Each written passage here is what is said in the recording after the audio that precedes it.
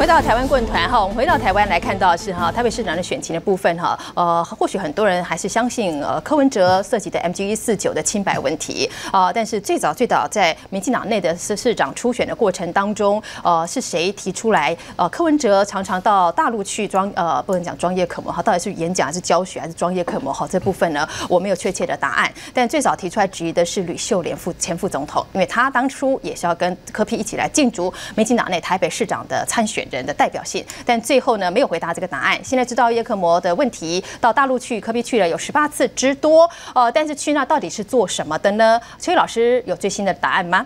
呃，有，好，那但是我今天只公布一趟，哦，好，好，就是说我上个礼拜提出来说，呃，捐钱给科批的 MG 一四九账户里面的有三家，有三家。企业哈，啊，三家企业大家现在都很熟了。嗯，我再讲的更清楚一点。那么三家里面，美敦力是叶克膜的，是。百特是大绿叶的，嗯，然后美商雅培是做抗生素的。哦，其实不管是大绿叶抗生素或叶克膜，是。都是科批所主导的外科加护病房。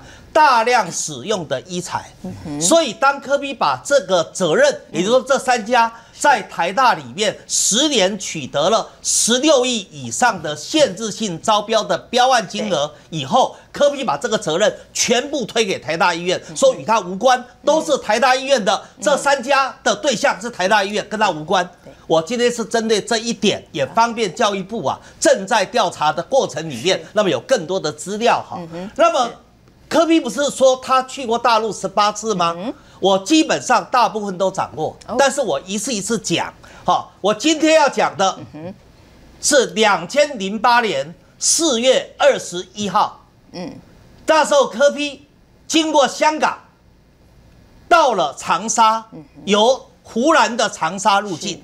二十一号，四月二十一号，然后到了四月二十五号，他转到了江苏。无锡市是。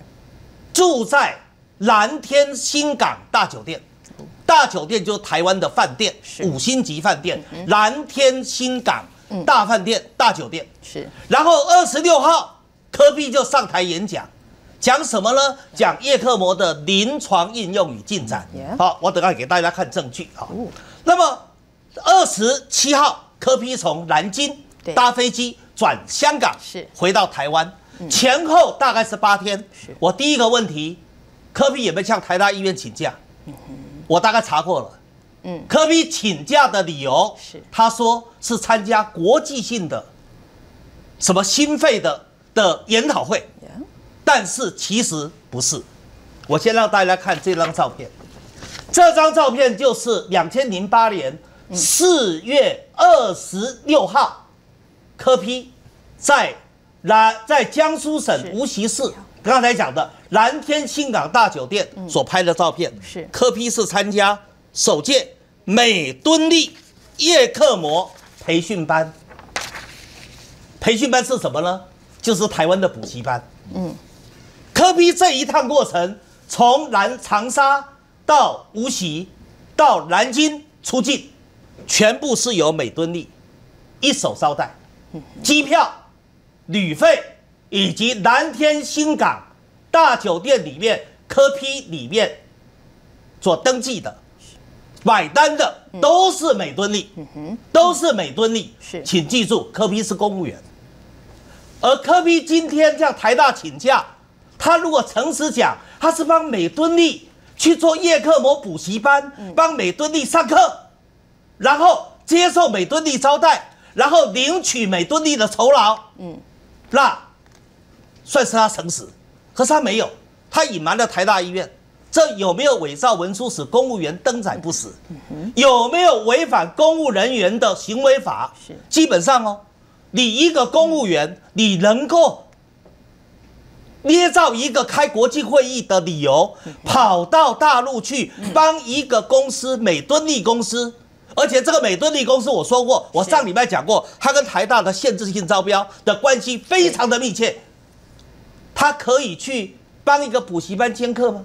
领酬劳吗？好，我为什么说领酬劳呢？请大家看，这是他议程哈，科批赛当天二十六号中午的十二点到一点，科批讲，这个人叫台湾大学医学院柯文哲，讲叶克膜的应用，叶克膜的临床应用与发展。对，而这个活动啊，大家请看了，这个活动在两千零八年四月哦，那时候大陆的物价不像现在这么贵哦。嗯。每一个人一天的课程，一天的课程是要收费的，是要收每个人八百块人民币的。另外食宿费要自理哦，食宿自理收八百块人民币，很巧合的。嗯，我去问美敦力内部人员，他告诉我，科批帮他们参加这种活动不是一次，很多，他抽一层，抽一层。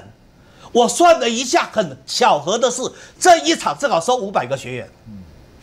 嗯一个人八百块人民币，八百块人民币乘以五就是两千块台币。嗯，然后五百个人就是两百万，是抽一层，正好是二十万。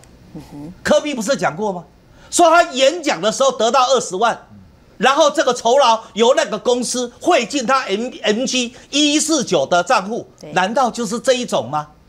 那我要问了，当然钱没有进他个人口袋，他只是被接招待了。坐飞机的费用以及住宿的费用、食宿的费用，对，这酬劳二十万没有进他个人口袋。但是我请问，科比是个公务员，你看他上班时间，告诉台大医院说我去参加国际研讨会，然后去办个补一个公司在开大大陆开的补习班给他上课，可以这样子吗？有没有违反公务员的服务法则？更重要的，科比你不是讲说这三家公司美敦力、雅培、百特都是跟台大医院关系，跟你没有关，你跟他们不熟，嗯，都是台大医院的事，他不管采购。请问你，那如果不熟的话，你怎么会跟人家同机，坐飞机到长沙，再由别人把你送到长送到无锡，然后再帮他上课，然后在南天新港。大酒店里面被安排住在有客厅的套间里面，你跟这个美敦力公司不熟吗？这个是我所讲的科批，在零八年，科批在零八年之后只去过一次，就是去年去延安的那一次，北京参加蒋渭水的研讨会，然后在延安去考察毛泽东思想的那一次。至于其他的行程，都是零八年以前，都是政党轮替以前。那政党轮替以前，我今天只举一个，就是零八年四月二十一号到二十七号的中间，是科批跟美敦力之间的合作关系。好，我们待会回来，我们就来看看其他来宾要怎么回应，怎么看待这个问题。感谢你帮。